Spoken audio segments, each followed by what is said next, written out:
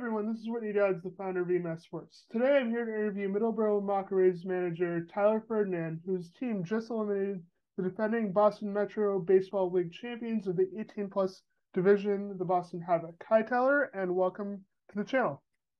Hi, Whitney. Thank you for having me.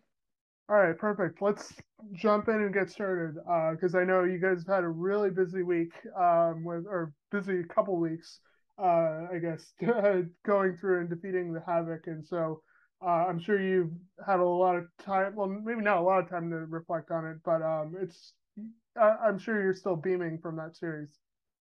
Oh yeah, I mean it was fun. We knew um, we knew it was going to be a battle, um, but I think I think the best thing for us going into that series is we did have to play the two playing games, um, which was something new to us because the last couple years we've we've got the one seed, not really had to worry about it, get a bye. But I think you know being in that position, it kind of lit a fire under us. Um, a lot of teams are counting us out. It, it seemed like so. Um, I think those first two playing games, we scored. I think it was 37 runs in the two games. Definitely helped get our bats going, and, and we just used it in this series against the Havoc. Yeah, I was gonna say that's the first thing that jumps out when looking at everything is that you guys outscored. I mean, you've outscored your opponents 56 to nine this postseason, which is just insane. Um, but kind of going to the Havoc series. Uh, actually, before we go to the Havoc series, what is it like playing in that kind of uh, those elimination, you know, you know when when are you go home type games before you get to the Havoc? Because obviously, if you lose, your season's over. Um, right. And so, what kind of pressure is there on your team to do that? And how are you guys able to handle that? There's definitely a lot of pressure on us, um, especially last year winning the championship. The year before that, we won it. So there's a lot of pressure for us to get out of those games and, and get into a series. Um, really, what we told guys is, you know, it's baseball. Anything can happen in one game. We just got to go out there and play 110% every pitch, every inning, um, and, and, just play. You know, we, we call it the Mockeray baseball. Um, we're a very gritty team. We're, we're very fiery. Um, we got great arms. We play great defense we swing the bat well. So we just have to stay within ourselves to get through those games and then, you know, use our momentum going forward. Yeah, and then obviously the series with the Havoc didn't get off to the start you guys wanted to. You lost a very tough one nothing game, um, which we've which I've covered before. Um, but being able to take that loss and then just you know kind of ride the momentum of your offense waking up because you guys outscored them twenty one to six in the last three games. Um, you know, what was the key to doing that? Because obviously, you know, it is one game, but that's a mm-hmm. tough way to lose the game, and then to just be able to feel like something's clicked into place, um, especially with all the base runners you guys had. Um, yeah. how, what what was the biggest key to actually getting that series kind of to go back in your favor and close out a very tough team that obviously were the defending champs? Yeah, I think um, the biggest thing to our advantage is we played the next night. So you had to kind of have a quick memory. Less than 24 hours later, we, we were back at the ballpark ready to play a game. Um, I mean, I I think going into it, we we had a great feeling. Um, we have a lot of arms. We've had four pitchers that we didn't even use in the playoffs yet. So um, we're we're in a good position, and, and I think we are just you know trusting ourselves, knowing that we're not going to get shut out every game. Like we, we our bats are, are too good to do that.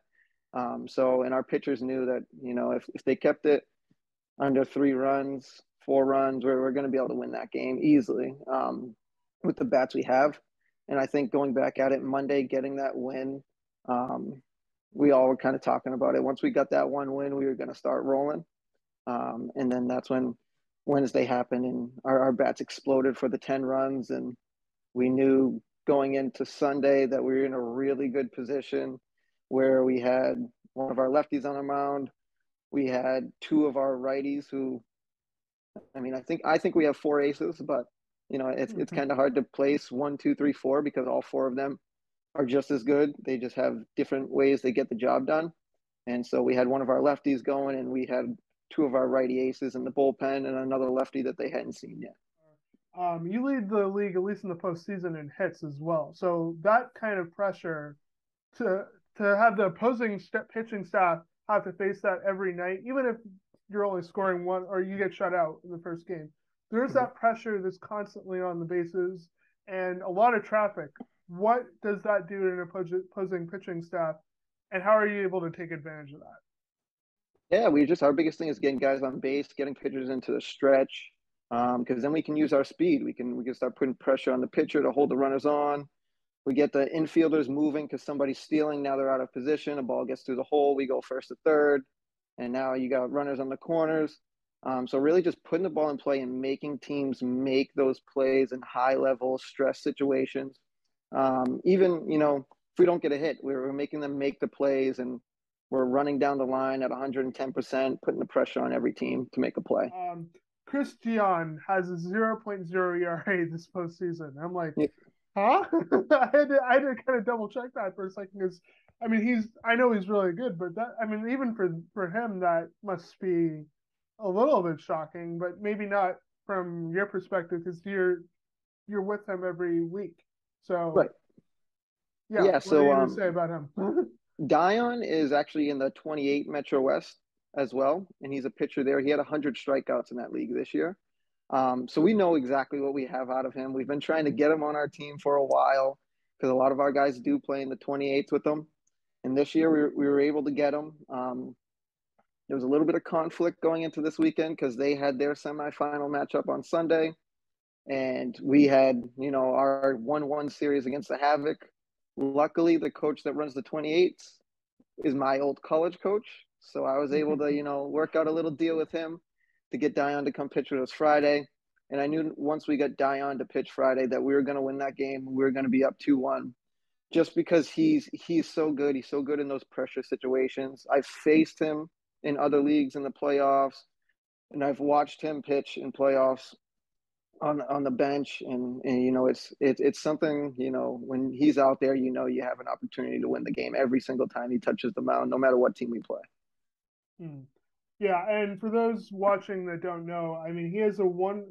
I was just again browsing for some research. His ERA in the postseason is 24 years, 1.81, and 151 strikeouts. I mean, you you you you know that all too well, having to face him, and obviously being his manager as well. So I'm sure that doesn't come as any surprise. Nope, no surprise at all. We knew, you know, he's a guy. He doesn't walk many people. He's going to fill up the zone. He mixes up his pitches a lot. Um, he's not the hardest throwing guy, but the way he mixes up his pitches, sometimes that fastball gets up on you really quick, and and you're looking off speed, and then you don't, you just don't have a shot to hit it. Hmm. Um, is there any particular pitch that makes him so effective? Maybe a fastball, some kind of off-speed pitch that would just devastate hitters. He's got a really good curveball, especially coming from the left side. You know, lefties are always funky to hit. Um, he, he's got a good curveball and, and he throws a good changeup too. He's not afraid to go inside on a changeup um, because he knows he can locate whatever pitch he wants at any time he wants. So.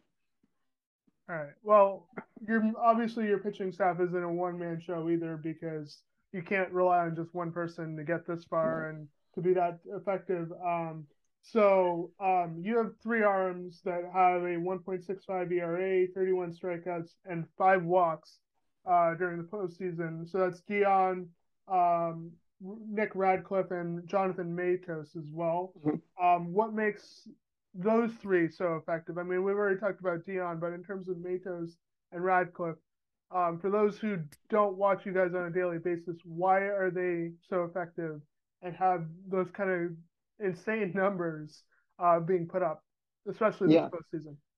So normally in a series where we're not playing the Havoc, Radcliffe is probably just uh, you know a bullpen guy, but we've done our research enough where we know that they've been struggling a lot with lefties this year. We have four lefties, so we rolled three of them out, and you know they were able to do their jobs. Matos is a harder throwing lefty who has a really good curveball, and he's a guy that gets better as the game goes on. Um, he, I think, last game he let up nine hits in the first three or four innings, and then after that, he just absolutely rolled through. Um, and then Radcliffe's a guy who, who mixes up his pitches. He doesn't throw necessarily too hard, um, but again, he's got two different curveballs he uses. He's got a change up, and he he does have a fastball at times. He can, you know, when he wants to rear back and throw it, he, he throws it pretty good. Um, what what it all comes down to. They're they're all gamers. You know, they want the ball in the big spots. Um, Matos was fighting to get the ball every night, and same thing with with Dion's fighting the ball get get it every night. Radcliffe is ready to come out of the pen all the time. He's always asking to pitch. So um, with those three guys, it's you know they're gamers, and then we got our we got our other righties, um, Justin Sylvia, Cam and then we have a lefty, Drew Ferrazani. They everybody wants the ball, and you know when you have seven, eight pitchers that all want the ball at the same time, it's a tough decision to make. But I know like going with one of them, I'm perfectly fine with with rolling all of them out if I have to. And you know, it's just you know trusting your pitchers and knowing that they're going to get the job done. Well, I mean that's really good too, especially you know as the postseason goes along. If you need to call on somebody, let's say someone's right. not having a the their best night, but you guys still have a dangerous offense. You can bring somebody in and kind of change up, you know, um, what the other team is looking at as well, and see right. if you can, you know, change the momentum a little bit um, to give your offense a chance to, you know, wake up. Depending on what type of game it is, obviously, but I'm sure that right. comes into effect sometimes too.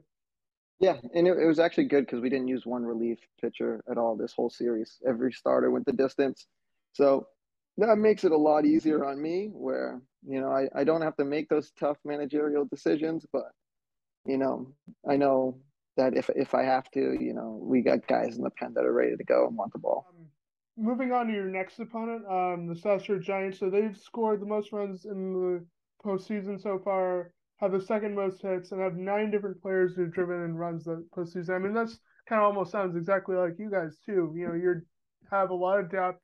Um, you don't rely on a on a couple players. You have a very diverse lineup. So do they as right. well. Um, what do your pitchers need to do to kind of help um, limit that and really put your offense in a position to win that maybe they've done already, or maybe something they need to improve on um, based on what you've seen so far?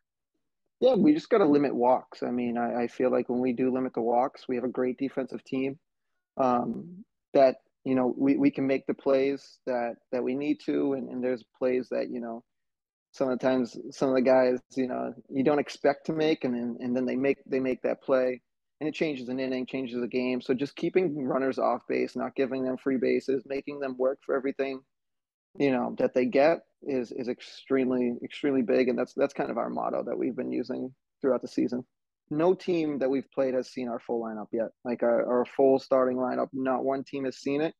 Um, everybody's ready to go, locked in. We got the dates all ready to go for the playoffs. So this is the first time that they're going to see our full lineup. I'm not too sure if, if we've seen their full lineup, but um, you know, I I like our chances against anybody, um, and and I feel that because I think we're probably I can go ahead and confidently say we're the closest team like camar- camaraderie wise, family wise. We do stuff outside of baseball. After games, we go out to dinner together. We have team parties during the year. We have a team golf tournament. Like we we do things outside of baseball that you know you can't you can't take that and just put a team together of good baseball players and, and get that chemistry. Um, you know, I, I, the biggest thing about sports is having a team chemistry, like knowing we have each other's back um, at a drop of a hat, if anything happened outside of baseball, every single person on this team would be there for somebody else. Um, and I think that's the biggest thing we got going for each other is because we have each backs outside of baseball, and that rolls into the into the season when we're in tough spots. We know we got each other, and we'll pick each other up. So I think I think that's the biggest thing that we have going for us outside of our talent. And then uh, you know, obviously, you talked about um, how close your team is and stuff like that. Um, for those again who aren't with you guys every day, are there any unsung heroes that people should pay attention to, or you know, don't get enough recognition? Because um, obviously, again, you guys have a very deep lineup, but mm-hmm. you know, you can have here, you know, new heroes every day. So anyone in your lineup or you know, pitching as well that um, people should be paying attention to. Yeah, I'd say the biggest one right now is Pat Yee. Um, you know, he's he's usually an outfielder for us. Our starting catcher wasn't at two games, and he's a lefty that had to go catch for two lefties that were throwing. So, you know, he's he's a guy where whatever you ask him to do, he's gonna do. Um, we also have a couple of guys like that on the bench. There's, you know, guys who know their role. And I think that's the biggest thing to being a successful team is everybody knowing their role, embracing their role, and just, you know, doing what they have to do to succeed in that role. Um, we have a rotation of, of players. You know, if somebody's not there, somebody else is going to plug in. They may be out of position, but they're ready to go. Um, there's times where I'm going to be in the infield and we're going to have Yee, Chand, and, and Bolai in the outfield. And there's times where I'm going to be in the outfield and either Yee or Chand's going to, you know, take a back seat and, and be ready to come off the bench. So, I mean, we have a lot of guys that, you know, if they're not in the starting lineup, they're not hanging their heads or they're not mad about it. They're just ready for whenever their number does get called to step up and and do their job. You know, we're we're here to win championships. We're here to get rings. That's you know, we want a champagne party after. That's that's that's our ultimate goal. Uh, we done we did it once last year. We came up a little short. And, you know, made us a very hungry team. Um, so, you know, it, it's championship baseball. It's you know, you don't get much better than this. It's late September, early October baseball, and, and that's what we live for. So, you know, if you want to come catch some good baseball, you know, show up to the game.